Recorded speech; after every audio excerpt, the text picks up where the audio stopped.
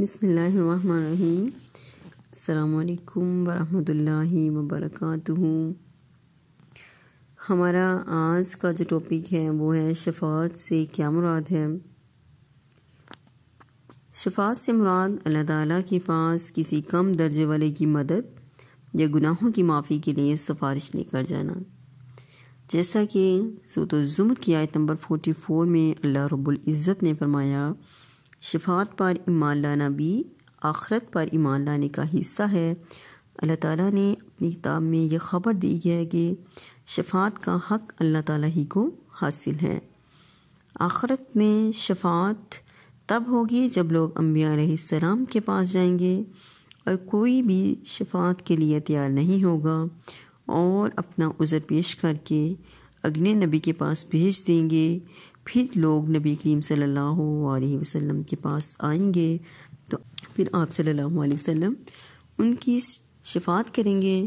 ये बनी इसराइल की सेवेंटी नाइन और निसाई की हदीस जो है वो फोर हंड्रेड थर्टी टू है।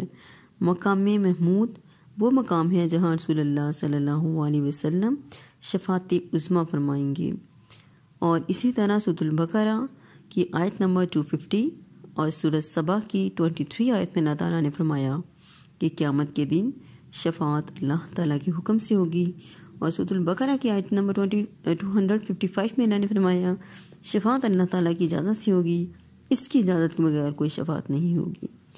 नजम की आयत नंबर ट्वेंटी सिक्स में अल्लाह ने फरमाया शफात के मामले में किसी का अदना सा इख्तियार भी नहीं। और इसी तरह सूतुल मरियम की आयत नंबर 87 में अल्लाह रब्बुल इज़्ज़त ने फरमाया शफात का इख्तियार अल्लाह ताला का है और इसकी इजाज़त इसके महबूब औलिया को मिलेगी। और इसी तरह सुतुल अम्बिया की आयत नंबर 28 और सूरत तोहा की आयत नंबर 109 में अल्लाह रब्बुल इज़्ज़त फरमाते हैं, शफात इसके लिए होगी जिससे रब्बुल इज़्ज़त राज़ी हो जाएँगे। सुबहान अल्लाह और इसी तरह सूरत गाफिर की आयत नंबर 18 में अल्लाह रब्बुल इज़्ज़त ने फरमाया, अल्लाह ताला शफात के लिए मुखलिस, अहल तोहीद से राज़ी होंगे होंगे। ालमों के लिए कोई शफात ना होगी। बुखारी की हदीस six thousand five hundred fifty six में नबी करीम सल्लल्लाहु अलैहि वसल्लम को शफात का इख्तियार दिया गया है।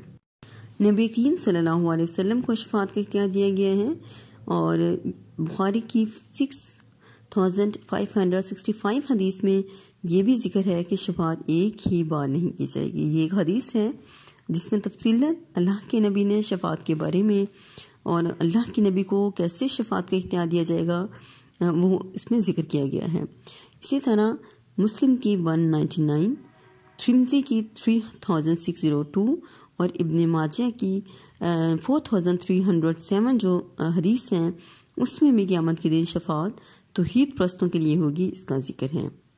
इसी तरह सूतुलम्बिया की ट्वेंटी एट और सतुलमदसर की आयत नंबर फोर्टी एट में अल्लाह रबुल्ज़ फरमाते हैं, शफात सिर्फ़ इसी को फ़ायदा देगी जिससे अल्लाह ताला राज़ी हों, काफरों और मुशरकों को कोई सिफारिश फ़ायदा नहीं देगी। और जो शख्स ये चाहे कि नबी करीम सल्लल्लाहु अलैहि वसल्लम की शफात नसीब हो, उसे चाहिए कि एक तो दुआ करे, अल्लाह मुझे उन सादत मंदों में शामिल फरमा दे, जिनको नबी करीम सल्लल्लाहु अलैहि वसल्लम की शफात नसीब होगी। दूसरा तो ईद का इकरार और शिरक से मुकम्मल तौर पर परहेज़ करें। तीसरे नंबर पर अल्लाह ताला की इबादत और चौथे नंबर पर नमाज़ की पाबंदी करें और पाँचवें नंबर पर कसरत से दरूद पढ़े और सल्लल्लाहु सल्लल्लाहु अलैहि वसल्लम के लिए वसीले की दुआ मांगे। ये था हमारा आज का टॉपिक इन अगेन आएँगे और टॉपिक लेकर आपके पास। अल्लाम वरहमल वर्का